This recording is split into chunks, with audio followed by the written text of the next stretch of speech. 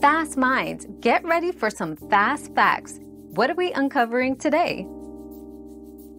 The IRS cares about large cash deposits because they can be indicative of potential illegal activities such as money laundering or tax evasion. Banks are required to report deposits over $10,000 as part of the Currency Transaction Reports Center. This helps the IRS monitor and investigate suspicious financial activities to ensure compliance with tax laws. Our quest for knowledge never ends. Thanks for being part of today's discovery. Subscribe, like, and share to join us on the next one.